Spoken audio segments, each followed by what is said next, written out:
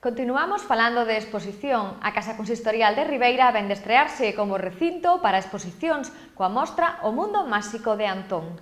Unha proposta elaborada por un neno de Portosín de 10 anos de idade, Antón Romero Piñeiro, que padece autismo e posúe un alto grado de creatividade que o plasma a través do debuso.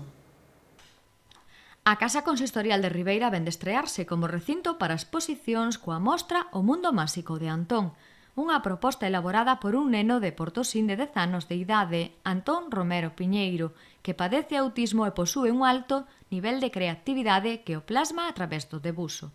A exposición está composta por un total de 18 cadros de gran colorido, nos que se representan os máis variados animais, como vacas, ras ou mapaches.